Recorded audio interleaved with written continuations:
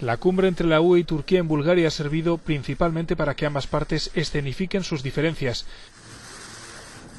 Bruselas está condenada a entenderse con Ankara si quiere que se mantenga en pie el acuerdo de control migratorio, aunque está preocupada por la deriva autoritaria de Erdogan.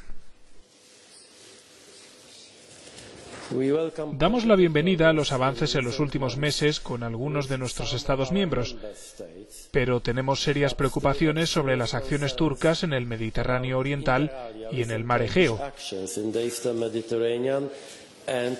así como sobre la detención de ciudadanos europeos. Los encontronazos marítimos y aéreos entre Grecia y Turquía, que no reconoce la soberanía helena de algunas de las islas del Egeo Oriental, se han incrementado en los últimos tiempos, algo a lo que se une la escalada en la retórica bélica entre ambas partes.